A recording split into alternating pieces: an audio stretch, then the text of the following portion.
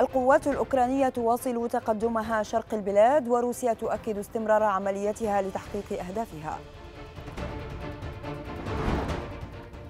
أسعار النفط تتراجع بسبب تأثر الطلب بارتفاع محتمل لأسعار الفائدة وأسعار الغاز الأوروبية تهبط خلال التعاملات.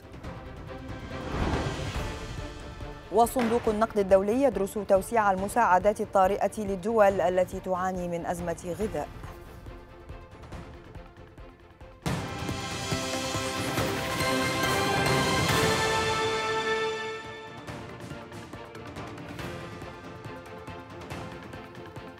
الثانية عشر ظهرا العاشرة بتوقيت جرينتش نشرة إخبارية تأتيكم من القاهرة. أهلا بكم. بدايتنا مشاهدينا في هذه النشرة ستكون مع الزميلة دارين مصطفى. إليك دارين. شكرا هشام. أهلا بكم مشاهدينا إلى هذه النشرة ومن العناوين إلى التفاصيل والبداية مع تطورات الأزمة الروسية الأوكرانية.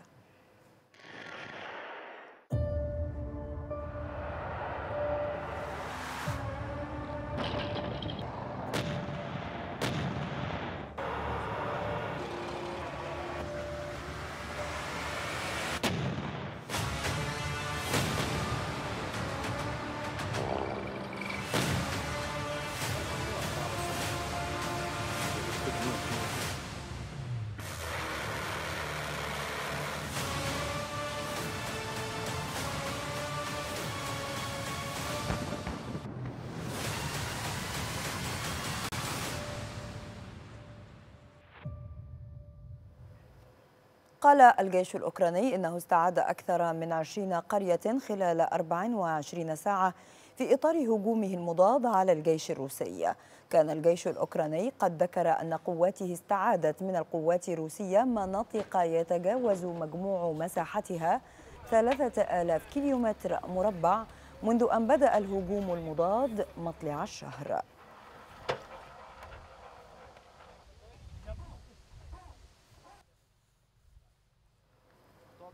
حذر وزير الدفاع الأوكراني أولاكسي ريزنيكوف من هجوم روسي مضاد في الشمال الشرقي للبلاد. وقال وزير الدفاع الأوكراني إن بلاده بحاجة إلى تأمين الأراضي المستعادة من هجوم مضاد روسي محتمل على خطوط الإمداد الأوكرانية الممتدة مضيفا أن القوات الأوكرانية يمكن أن تطوقها قوات روسية جديدة إذا واصلت تقدمها لمسافات أبعد. قالت وزارة الدفاع البريطانية إن روسيا أمرت على الأرجح بسحب قواتها من منطقة خاركييف في أوكرانيا غربي نهر أوسكل. وأضافت الوزارة في تحديث دوري أن أوكرانيا استعادت أراضي تبلغ مثلي مساحة لندن الكبرى على الأقل مشيرة إلى أن النجاحات الأوكرانية السريعة لها تداعيات كبيرة على المخطط الكامل للعمليات الروسية. أفادت سلطات منطقة خاركيف بأن نحو خمسة ألاف شخص تمكنوا من دخول الأراضي الروسية من المنطقة مشيرة إلى صعوبة تحديد عدد الذين تم إجلاؤهم نحو منطقة لوغانسك. وكانت سلطات خاركيف أعلنت في وقت سابق أنها بدأت في إجلاء السكان من أربع مدن في المنطقة.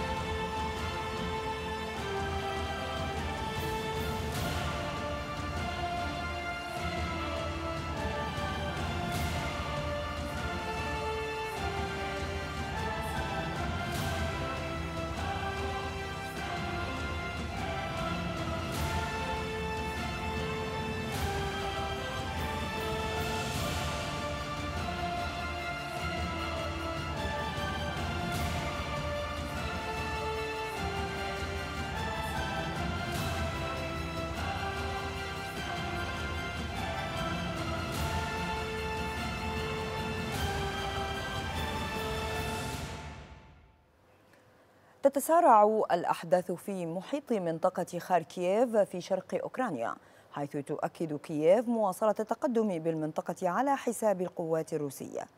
سياسيا نفت موسكو رفضها إجراء مفاوضات مع أوكرانيا وأشارت إلى أن تأخير عقدها يزيد من صعوبة الأزمة. نتابع المزيد في سياق هذا العرض والزميل شادي شاش. أهلا بكم. تطورات متسارعة تشهدها الجبهة الشرقية في أوكرانيا بعدما وسعت قوات كييف هجومها المضاد في مواجهة القوات الروسية. وفي أحدث التطورات قالت أوكرانيا إن قواتها أجبرت القوات الروسية على التراجع في مواقع استراتيجية شرقي البلاد. وأعلن الرئيس الأوكراني استعادة السيطرة على مدينة إزيوم الاستراتيجية كجزء من هجوم واسع النطاق في شرق البلاد. وفي حين تتسارع الأحداث في محيط منطقة خاركيب أعلن رئيس أركان الجيش الأوكراني استعادة السيطرة على ثلاثة ألاف كيلو متر مربع من الأراضي في هذه المنطقة الاستراتيجية القريبة من الحدود الدولية الروسية. وأضاف أن القوات الأوكرانية المهاجمة أصبحت على بعد 50 كيلو متر من الحدود الدولية مع روسيا.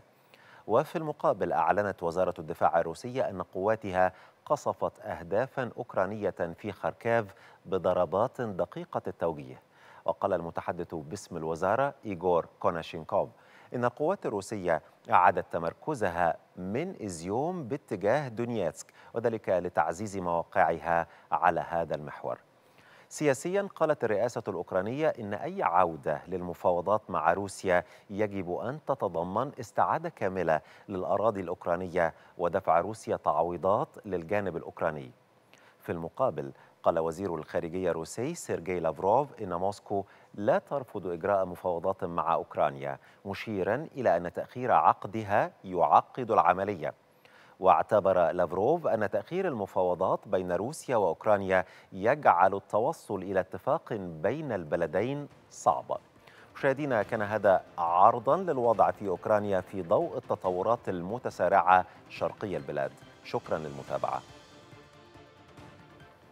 أكد نائب رئيس مجلس الأمن الروسي ديمتري ميدفيديف أن العملية العسكرية الجارية في أوكرانيا ستحقق جميع الأهداف التي حددتها موسكو وأشار ميدفيديف إلى أن الدعم الذي تلقاه الحزب الحاكم خلال الانتخابات الأخيرة هو أفضل ضمان على أن الحكومة ستفعل كل شيء كما هو ضروري.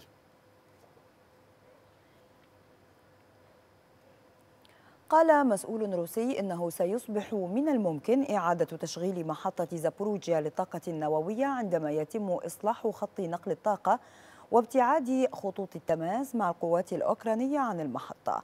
وأوضح المسؤول الروسي أن إعادة التشغيل الفوري للمحطة قد لا يستغرق أكثر من بضع ساعات لكن التشغيل الأكثر اعتدالا قد يستغرق عدة أيام. حذر الرئيس الروسي فلاديمير بوتين نظيره الفرنسي إيمانويل ماكرون من عواقب كارثية للهجمات الأوكرانية على محطة زابوريجيا النووية. إلى ذلك أعلنت الوكالة الدولية للطاقة الذرية أنها بدأت مشاورات رسمية مع كل من كييف وموسكو بشأن إنشاء منطقة آمنة حول المحطة النووية. لا يزال الوضع في محطة زابوريجيا النووية بأوكرينيا ينذر بنتائج لا يحمد عقباها في ظل استمرار القصف حولها وتبادل كييف وموسكو الاتهامات بالمسؤولية عن هذا القصف. ملف المحطة النووية الأكبر في أوروبا كان حاضرا في محادثات هاتفية بين الرئيسين الروسي فلاديمير بوتين والفرنسي إيمانويل ماكرون حيث شدد الرئيس الروسي على التدابير التي اتخذها خبراء روس لضمان أمن المحطة مشددا على ضرورة ممارسة ضغوط على سلطات كييف لكي توقف فورا الهجمات التي تستهدف المحطة. من جهته طالب ماكرون نظيره الروسي بإزالة الأسلحة الثقيلة والخفيفة من محطة زابوريجيا مؤكدا بحسب بيان للإليزيه أن السبب الرئيسي للمخاطر في المحطة هو وجود القوات الروسية. إلى ذلك أعلنت الوكالة الدولية للطاقة الذرية أنها بدأت مشاورات رسمية مع كل من كييف وموسكو بشأن إنشاء منطقة آمنة حول محطة زابوريجيا النووية. وفي وقت سابق أعلنت أوكرانيا وقف عمل المفاعل السادس والأخير الذي كان لا يزال في الخدمة في المحطة الأكبر في أوروبا والتي تسيطر عليها القوات الروسية. ولاحقا قالت الوكالة الدولية للطاقة الذرية إنه تم إصلاح خط طاقة احتياطي لتزويد المحطة بالكهرباء الخارجية التي تحتاجها لتبريد مفاعلاتها. وقالت وكالة الطاقة الذرية إن القصف الروسي دمر البنى التحتية للطاقة في مدينة إنرودار الأوكرانية قرب محطة زابوريجيا ما يشكل تهديدا محفوفا بالمخاطر.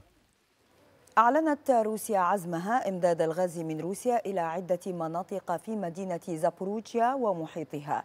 وأشار مسؤول روسي إلى بدء إمداد الغاز خلال الأسبوع المقبل إلى منطقة برديانسك بينما يبدأ توريد الغاز والكهرباء للعديد من المناطق بحلول الخامس عشر من أكتوبر.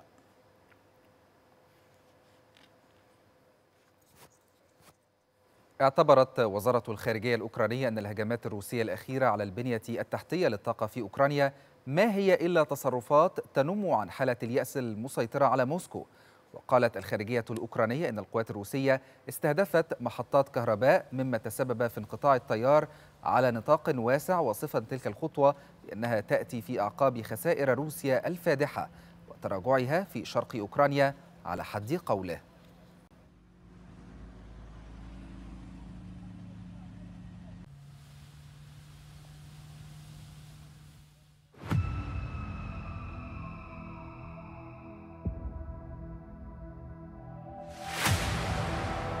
Russia's brutal and unprovoked assault on its neighbor Ukraine has fueled a global energy crisis.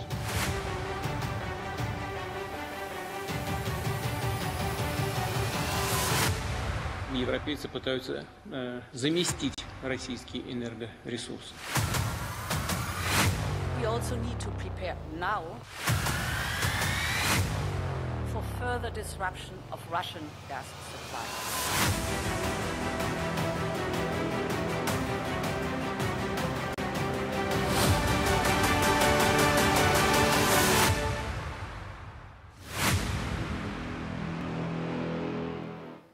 ارتفعت أسعار النفط خلال التعاملات وسط مخاوف بشأن توقعات الطلب العالمي على الوقود مع تزايد القيود المرتبطة بفيروس كوفيد 19 في الصين واحتمالات زيادة أسعار الفائدة بشكل أكبر في الولايات المتحدة وأوروبا.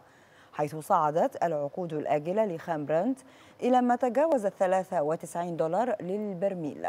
وزاد خام نايمكس الأمريكي ليسجل 87 دولار و69 سنتا للبرميل. هذا وهبطت أسعار الغاز الطبيعي الأوروبية خلال تعاملات اليوم حيث ينتظر السوق تفاصيل خطة الاتحاد الأوروبي الخاصة بالتعامل مع أزمة الطاقة التي تعوق الطلب على الوقود وتهدد بالضغط على اقتصاد دول المنطقة. وتراجعت العقود الآجلة للغاز الطبيعي في هولندا إلى 194 يورو و23 سنتا لكل ميجا وات بعد أن صعدت بأكثر من 8% في وقت سابق من التعاملات.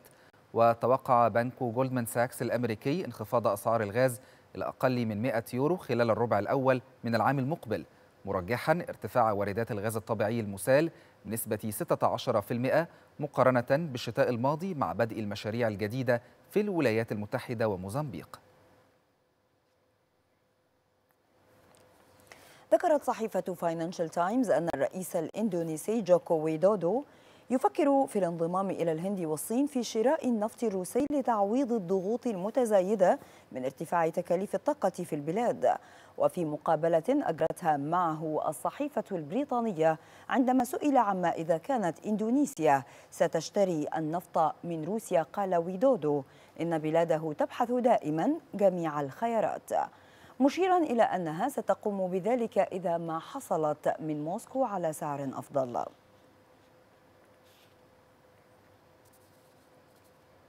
قال وزير الاقتصاد الفرنسي برونو لومير إن حكومة بلاده ستواصل دعم فاتورة الكهرباء للأسر الأكثر احتياجا وإن هذا الأمر سيتم بطريقة هادفة أكثر ومركزة. وأضاف الوزير أنه لولا دعم أسعار الطاقة في أول يناير المقبل كان سعر الكهرباء سيرتفع بمقدار 120 يورو شهريا لكل أسرة و180 يورو للغاز. وتعتزم الحكومة الفرنسية خلال الأيام المقبلة الإعلان عن خطة الدعم الجديدة للطاقة وأسعار الكهرباء التي سيتم العمل بها بداية من أول العام المقبل. في ألمانيا سجل الوقود ثمنا أغلى مما هو عليه في جميع البلدان المجاورة لها في الاتحاد الأوروبي للمرة الثانية مع انتهاء خفض أسعار الوقود بنهاية أغسطس الماضي. وأشار مكتب الإحصاء الألماني إلى أن متوسط الأسعار اليومية بلغ 2 يورو و7 سنتات للتر البنزين الممتاز و2 يورو و16 سنتا للتر الديزل. يجرى تطبيق معدلات الضرائب العادية على الوقود منذ الأول من سبتمبر الجاري وبالتالي أصبحت ألمانيا مجددا من أغلى الدول في الاتحاد الأوروبي في أسعار الوقود. قالت وزيرة الخزانة الأمريكية جانيت يالين إن خطر حدوث انكماش في الولايات المتحدة ما زال قائما بسبب الإجراءات المتخذة لإبطاء التضخم.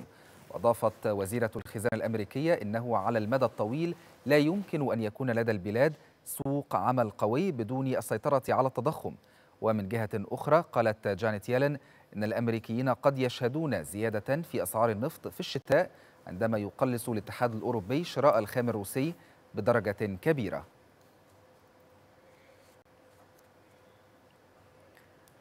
ذكرت صحيفة واشنطن بوست الأمريكية أن الولايات المتحدة قد تستفيد من الركود في أوروبا والذي قد يثيره تقليص توريد الغاز الروسي. ونقلت الصحيفة الأمريكية عن مسؤول في الإدارة الأمريكية قوله إن وزارة الخزانة ومجموعة من المستشارين الاقتصاديين بالبيت الأبيض يتوقعون عواقب معتدلة. من الركود في أوروبا. وأضافت واشنطن بوست أنه إذا ما استمرت روسيا في بيع النفط للعالم وقلصت فقط صادرات الغاز إلى أوروبا فمن المرجح أن يكون التأثير على الاقتصاد الأمريكي ضئيلاً.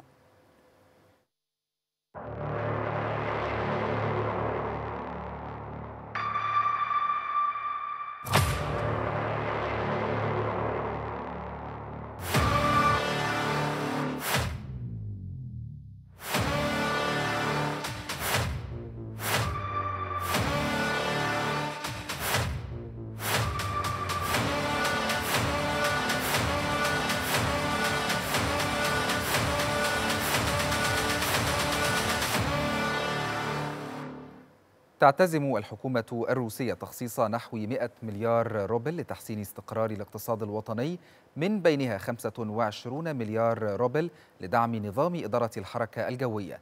ومن جانبه أوضح رئيس الوزراء الروسي أوضح خلال اجتماع مع نوابه أن الحكومة ستواصل اتخاذ المزيد من القرارات لدعم الشركات والمواطنين في مواجهة القيود الخارجية. في روسيا أيضا يبدأ اليوم استئناف تعاملات الجلسة المسائية والجلسة الصباحية الخاصة بأسواق العملات في بورصة موسكو للأسهم.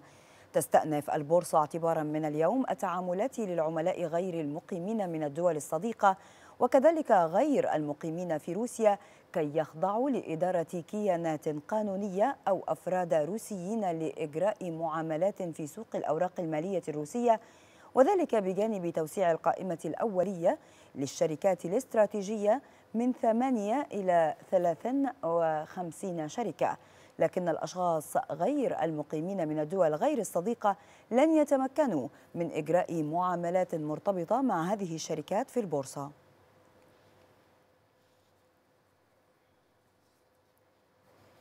يناقش المجلس التنفيذي لصندوق النقد الدولي سبل توفير تمويل طارئ للدول التي تواجه صدمات أسعار الغذاء.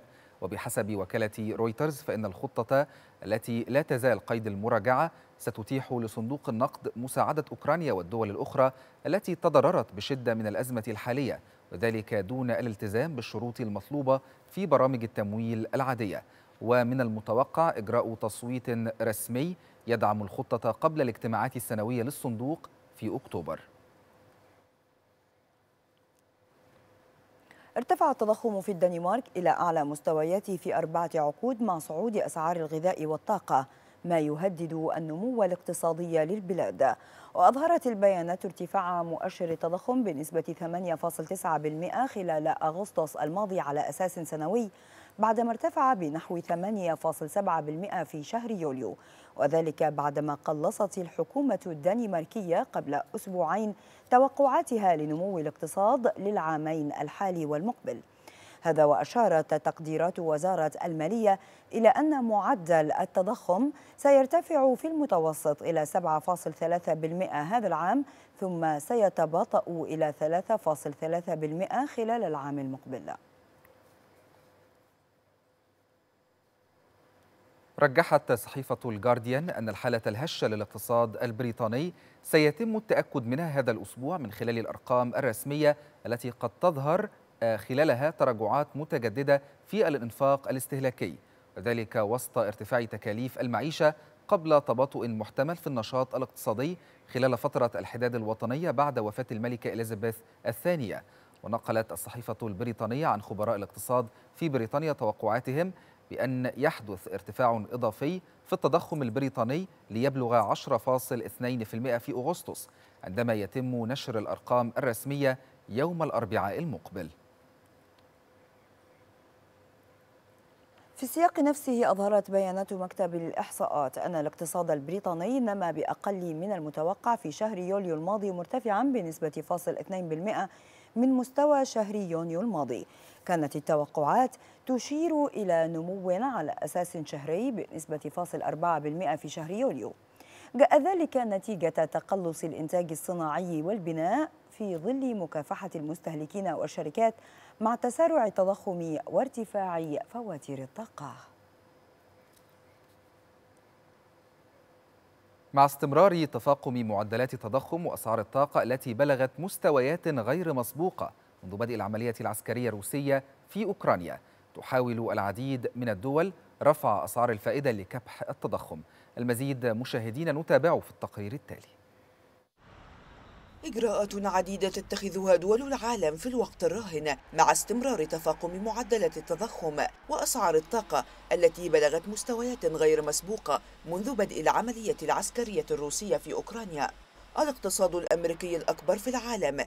يقود تلك الخطوات حيث يتطلع مسؤولو الاحتياطي الفيدرالي إلى إقرار زيادة كبيرة أخرى لأسعار الفائدة هذا الشهر حيث يسارعون الخطى إلى الحد من الطلب وطمانه الأمريكيين بعودة معدلات التضخم إلى 2% رئيس المصرف المركزي الأمريكي جيروم باول شدد على ضرورة التحرك بحزم في مواجهة التضخم لتجنب العواقب المؤلمة على الأسر مع استمرار زيادة الأسعار وتكرار ما حدث في أواخر سبعينات وبداية ثمانينات القرن الماضي.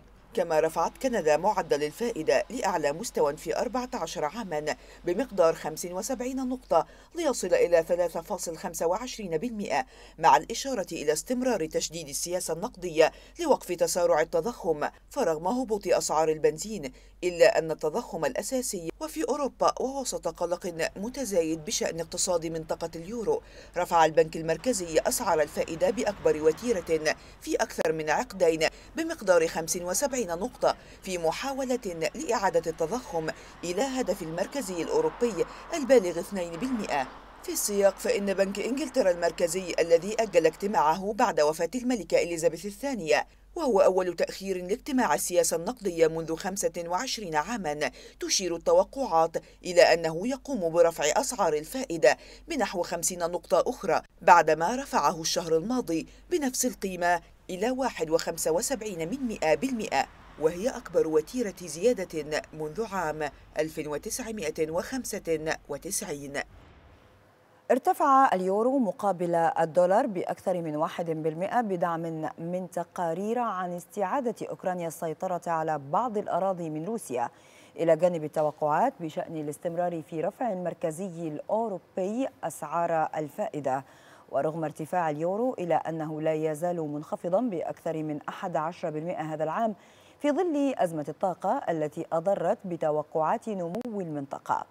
هذا ويتوقع بنك جي بي مورغان الأمريكي تراجع اليورو إلى مستوى 95 سنتا بنهاية العام الجاري.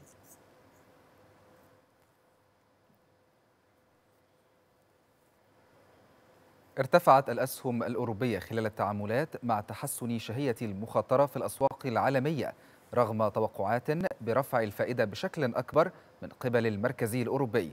وارتفع مؤشر ستوكس يوروب 600 بما يقارب 1% كما صعد مؤشر فوتسي البريطاني بما يقارب 1.5% كذلك زاد مؤشر داكس الألماني بنحو 1.6% فيما ارتفع مؤشر كاك الفرنسي بنسبة 1.3%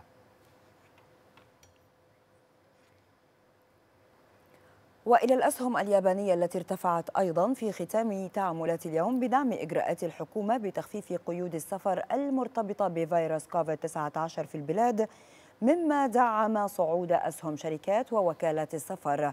وأغلق المؤشر الرئيسي على ارتفاع بنسبة 1.16% كما صعد مؤشر توبكس الأوسع نطاقا بنسبة 0.75% في وقت ارتفعت فيه العملة الأمريكية مقابل نظيرتها اليابانية بنسبة 0.3%. صعدت أسعار الذهب تزامنا مع تراجع الدولار الأمريكي حيث يقيم المستثمرون توقعات التضخم وتأثيرها على قرار الاحتياطي الفيدرالي المقبل ويتجه تركيز الأسواق نحو مؤشر أسعار المستهلكين في الولايات المتحدة المنتظر صدوره غدا الثلاثاء. وارتفعت العقود الآجلة للذهب إلى 1737 دولارا للأوقية كما زاد سعر التسليم الفوري إلى 1726 دولارا للأوقية.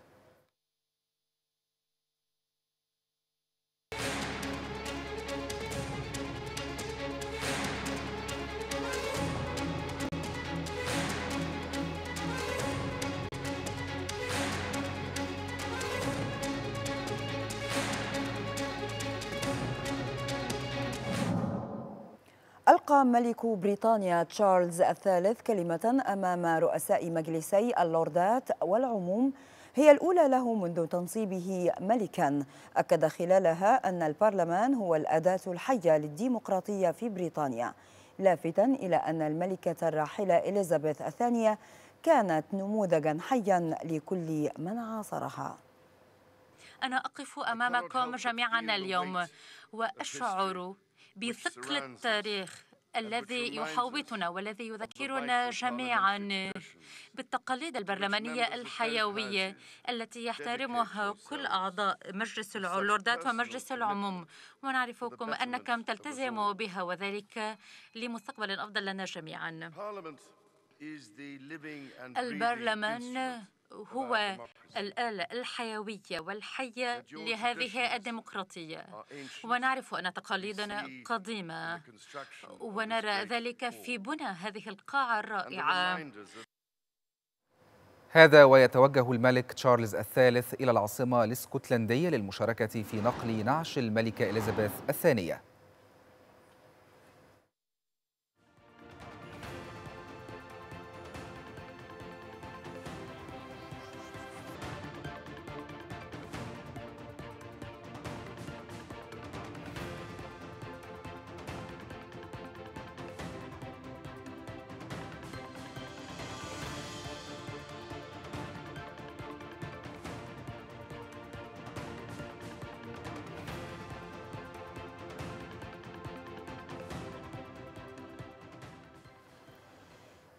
كما سيتمكن البريطانيون من رؤية جثمان الملكة إليزابيث الثانية بعد وصوله إلى قلعة بيلمولر بإدنبرا.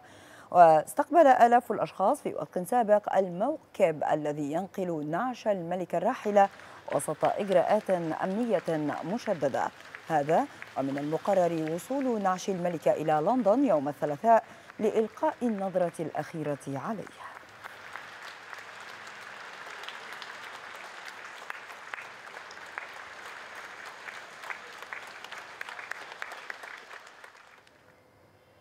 أعلنت هيئة الانتخابات في السويد أن النتيجة النهائية للانتخابات التشريعية لن تصدر قبل يوم الأربعاء بسبب التقارب الكبير في النتائج. وأظهرت نتائج أولية شملت حوالي 95% من مراكز الاقتراع أن الكتلة التي يقودها زعيم حزب المحافظين أولاف كريستورن ستفوز بغالبية تتراوح بين 175 و 176 مقعدا مقابل 173 إلى 174 مقعدا لكتلة اليسار بزعامة رئيسة الوزراء المنتهية ولايتها ماغدالينا أندرسون.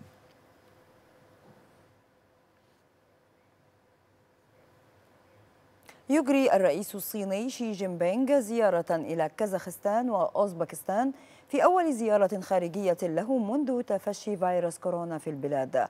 وأوضحت وكالة شينخوا الصينية أن شي سيشارك خلال الجولة التي ستبدأ الأربعاء في قمة قادة دول منظمة شنغهاي للتعاون في سمرقند بأوزبكستان.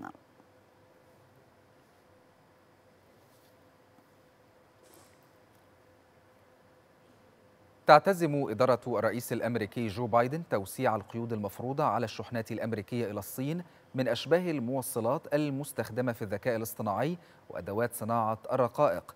وبحسب وكالة رويترز ستنشر وزارة التجارة الأمريكية الشهر المقبل قواعد جديدة تستند إلى هذه القيود التي تضمنتها رسائل وجهت هذا العام إلى ثلاث شركات محلية. وتحضر الرسائل التي أقرت الشركات بتلقيها تصدير معدات صناعة الرقائق إلى المصانع الصينية التي تنتج أشباه موصلات متطورة ما لم تحصل على تراخيص من وزارة التجارة.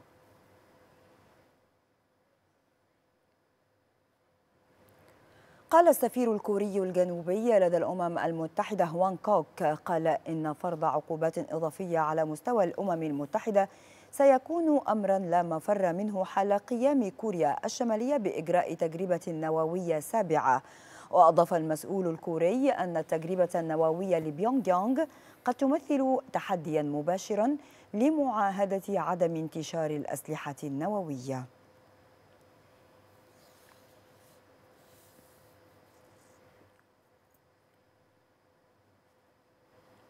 قررت حكومة بيلاروسيا تخفيف العقوبات المضادة والسماح باستيراد سلع معينة من الدول الغربية.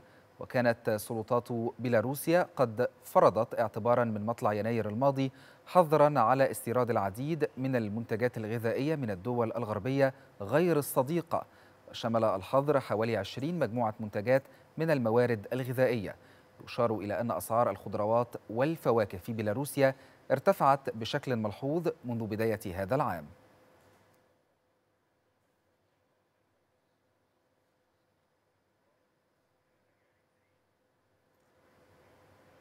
دخل قرار الاتحاد الأوروبي بتعليق اتفاقية تسهيل إصدار تأشيرات دخول الروس حيز التنفيذ.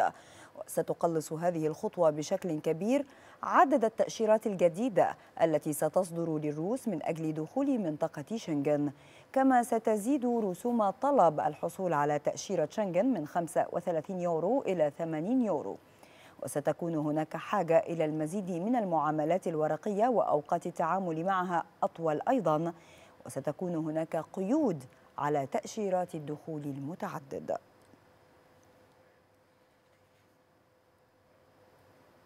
قتل شخصان وأصيب شخص آخر في إطلاق نار شمال مدينة مرسيليا بحسب ما ذكرت وكالة الأنباء الفرنسية.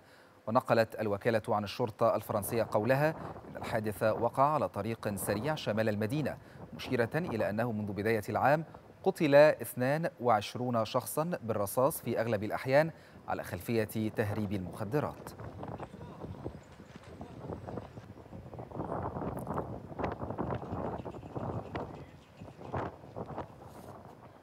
أعلنت رئيسة الوزراء النيوزيلندية جاسيندا أردرن أعلنت عن رفع معظم القيود التي فرضتها الحكومة لاحتواء فيروس كورونا مؤكدة خلال مؤتمر صحفي عودة الحياة إلى طبيعتها لأول مرة منذ تفشي الوباء في البلاد.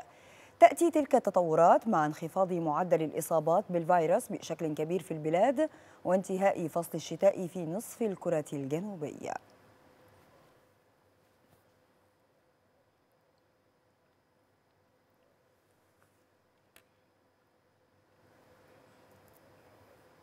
تدرس الحكومة اليابانية تحقيق توازن بين فتح الحدود أمام المسافرين الأجانب وإبقاء جائحة كورونا قيد السيطرة لإنعاش ثالث أكبر اقتصاد في العالم والذي تضرر بشدة من غياب السياح. وقال كبير أمناء مجلس الوزراء إن الحكومة ستواصل اتخاذ القرارات المناسبة بناء على حالة العدوى في الداخل والخارج بالإضافة إلى احتياجات المسافرين والخطوات الحدودية التي تنفذها الاقتصادات الكبرى الأخرى.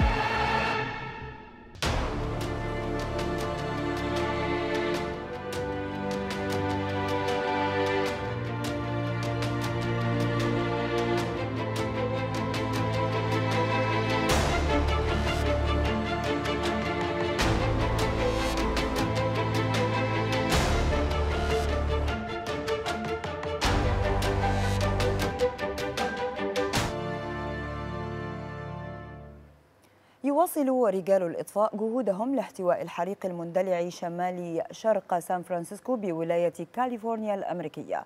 وأوضح مسؤول بالولاية أن انخفاض درجات الحرارة بعد أسبوع من الحر الشديد أبطأ تقدم الحريق لكن رياحا أقوى. أسهمت في دفعه باتجاه الشمال والشمال الشرقي ما يهدد مئات المنازل. من جهة أخرى تمكنت فرق الإطفاء من السيطرة على حريق جنوب لوس أنجلوس بعدما حملت عاصفة مدارية أمطارا وأدت إلى انخفاض في درجات الحرارة.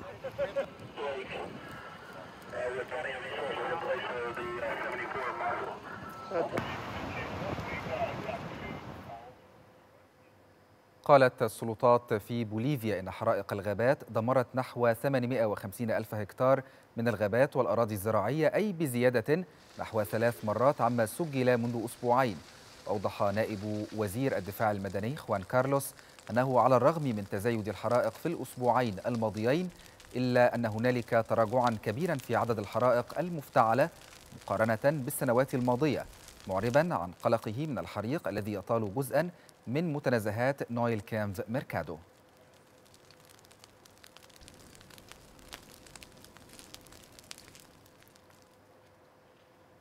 حذرت الأمم المتحدة من أن الأوضاع الإنسانية في باكستان ستزداد سوءا نتيجة تشريد أكثر من 33 مليون شخص بسبب الفيضانات التي ضربت البلاد على مدار الأسابيع الماضية حيث نال القطاع الصحي نصيبه من الدمار مما فاقم الكارثة لم تتوقف كارثة الفيضانات في باكستان عن تدمير البنية التحتية والتأثير على الاقتصاد وتراجع نسبة الأمن الغذائي فحسب. بل ظهرت مخاطر وتحذيرات من زيادة نسب انتشار الأمراض نتيجة تدمير عدد كبير من المراكز الصحية. الأمم المتحدة حذرت من أن الأوضاع الإنسانية ستزداد سوءا في باكستان نتيجة تشريد أكثر من 33 مليون شخص بسبب الفيضانات التي ضربت البلاد على مدار الأسابيع الماضية. وذلك وسط تحذيرات من فيضانات أخرى قد تضرب بعض الأقاليم مثل إقليم السند جنوبي البلاد. الفيضانات التي غمرت ثلث البلاد. قضت على مئات الأشخاص ودمرت نحو مليوني منزل ومؤسسة تجارية وغمرت ألاف الكيلومترات من الطرق وجرفت مئات الجسور. القطاع الصحي كان له نصيبه من الدمار مما زاد حدة الكارثة حيث قالت منظمة الصحة العالمية التابعة للأمم المتحدة إن أكثر من 1400 مركز صحي تضرر معظمها في إقليم السند وتعزو إسلام باد الفيضانات الكاسحة إلى التغير المناخي الذي يزيد من وتيرة وشدة الظواهر المناخية القصوى في جميع أنحاء العالم. وسجلت باكستان ككل هذه السنة معدل أمطار موسمية يزيد بخمسة أضعاف عن المعتاد بحسب مصلحة الأرصاد الجوية. ووصف الأمين العام للأمم المتحدة أنطونيو غوتيريش هذه الفيضانات بالمجزرة المناخية التي لم يشاهدها من قبل بهذا الحجم ملقيا اللوم على الدول الغنية. لقي ثلاثة أشخاص مصرعهم جراء إعصار هينامنور الذي ضرب مناطق بشرق روسيا خلال الأيام الماضية. وأفاد حاكم إقليم بريمورييه الروسي أفاد بأن الإعصار كان قصيرا ولكنه كان شديدا للغاية متسببا في أضرار كبيرة. وكانت ست بلديات في الإقليم الروسي رفعت في وقت سابق حالة الطوارئ بسبب إعصار هينامنور بينما قالت السلطات الروسية أن الأمطار غزيرة أو الأمطار الغزيرة الناجمة عن الإعصار غمرت 991 بيتا وألحقت أضرارا في 34 جسرا.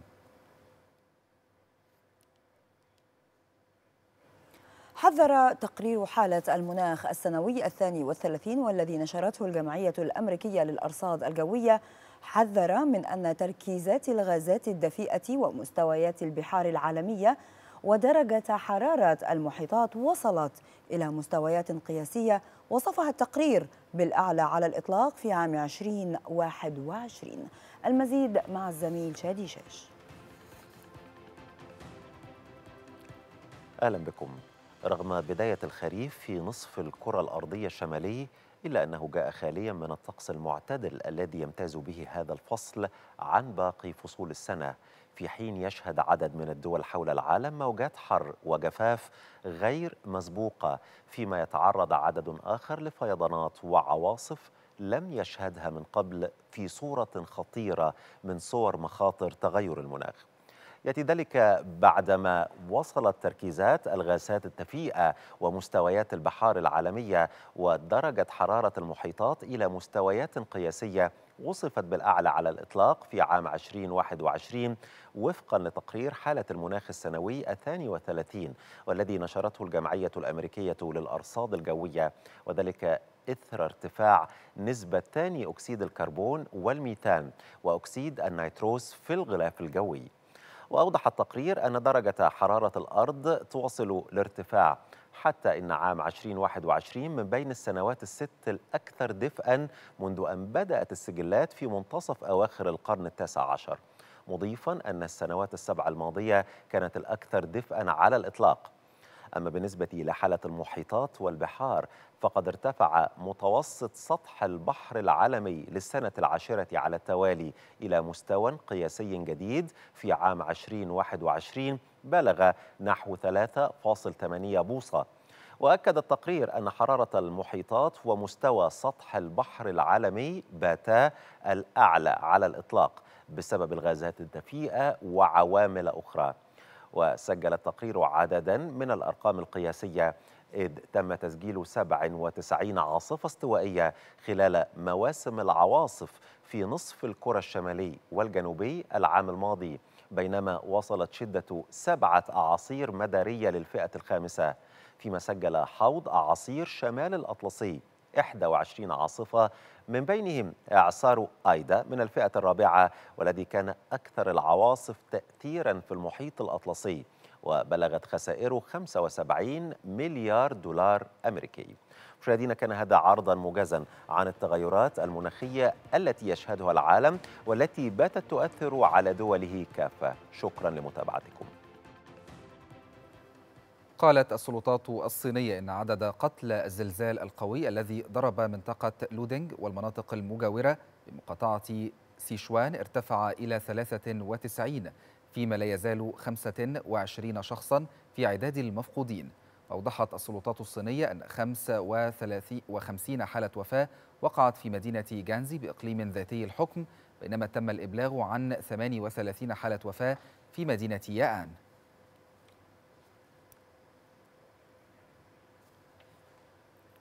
ضربت هزة أرضية بلغت قوتها أربع درجات فاصل ثمانية على مقياس ريختر قبالة سواحل محافظة أوموري اليابانية دون صدور تحذيرات من حدوث موجات مد عاتية. وذكرت وكالة الأرصاد الجوية اليابانية أن مركز الهزة وقع قبالة الساحل الغربي من محافظة أوموري وعلى عمق 170 كيلومتر. كما لم ترد أنباء حتى الآن عن وقوع خسائر بشرية أو مادية جراء الهزة.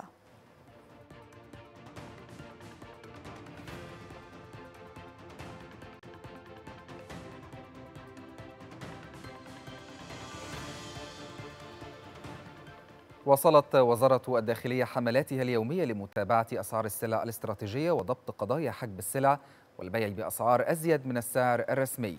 وتمكنت الداخلية خلال 24 ساعة من ضبط 452 قضية تموينية بمضبوطات بلغت أكثر من 151 طن مواد غذائية وغير غذائية. ففي مجال الاستيلاء على السلع المدعومة تم ضبط أكثر من ثماني أطنان. وفي مجال عدم الإعلان عن الأسعار بقصد البيع بأزيد من السعر الرسمي للسلع الغذائية فتم ضبط قرابة 138 طنا. أما في مجال قضايا المخابز فتم ضبط 723 قضية من بينها 100 و57 قضية خبز ناقص الوزن و120 قضية خبز غير مطابق للمواصفات.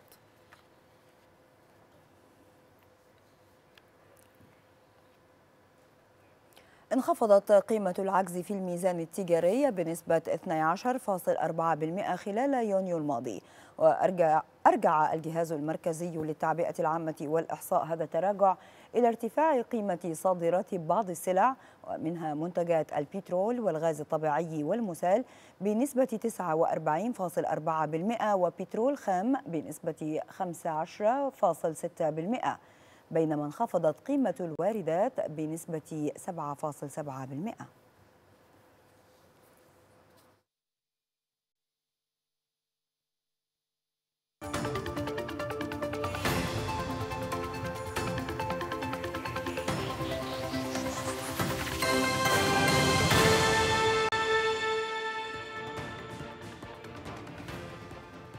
ونتابع معكم في أخبار الرياضة. حقق المنتخب الوطني للخماسي الحديث ذهبية التتابع المختلط تحت 17 عاما ببطولة العالم للخماسي الحديث للشباب والشابات تحت 19 عاما في إيطاليا.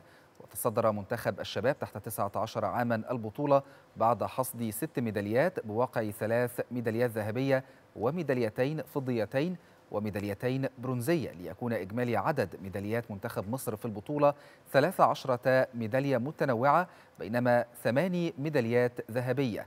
وذلك في إنجاز تاريخي لم يحدث من قبل في بطولات العالم للشباب تحت 17 عاما و19 عاما. فاز المنتخب المصري للكاراتيه ببطولة شمال إفريقيا التي استضافتها تونس بعد أن حصد اللاعبون 51 ميدالية بوقع 14 ذهبية و17 فضية و20 برونزية. بينما جاء المنتخب الجزائري في المركز الثاني وحل المنتخب التونسي ثالثا. شارك في بطولة شمال أفريقيا للكاراتيه 323 لاعبا ولاعبة من خمس دول. بينهم 77 لاعبا ولاعبة من مصر.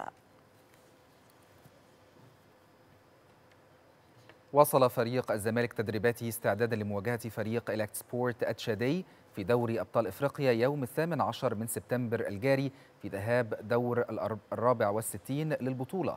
وقام الجهاز الفني للفريق بقيادة فيريرا بتقسيم اللاعبين إلى مجموعتين خلال المران الذي أقيم على ملعب عبد اللطيف أبو رجيلة بمقر النادي وذلك لأداء فترة تأهيلية خاصة.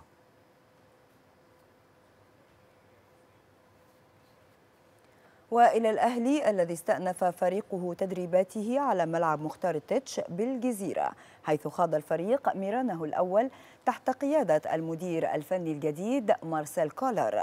وذلك في إطار الاستعداد للمرحلة المقبلة بعد فترة الراحة التي حصل عليها اللاعبون بنهاية الموسم الماضي. حرص السويسري مارسيل كولر على عقد محاضرة للاعبين قبل انطلاق الميران شهدت الحديث عن استراتيجية العمل الخاصة بالفريق خلال الفترة المقبلة بعد توليه القيادة الفنية بشكل رسمي. خاض اللاعبون فقرات بدنية متنوعة في بداية الميران فيما أدى حراس الفريق ميرانا قويا تحت قيادة ميشيل يانكن.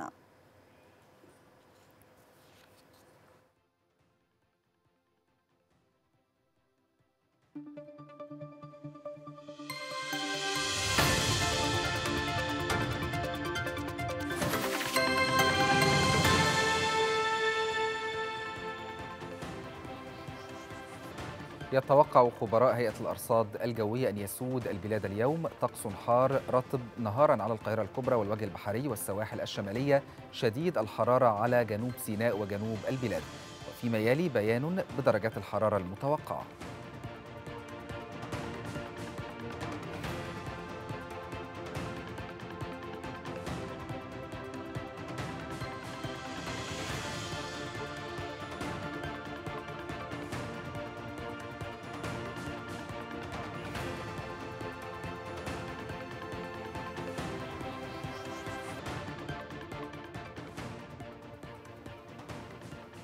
ختام هذه النشرة إليكم تذكرة بأهم ما جاء فيها من عناوين.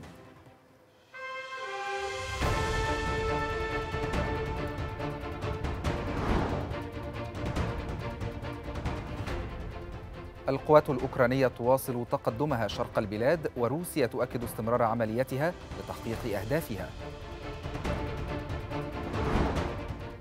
أسعار النفط تتراجع بسبب تأثر الطلب بارتفاع محتمل لأسعار الفائدة وأسعار الغاز الأوروبية تهبط خلال التعاملات.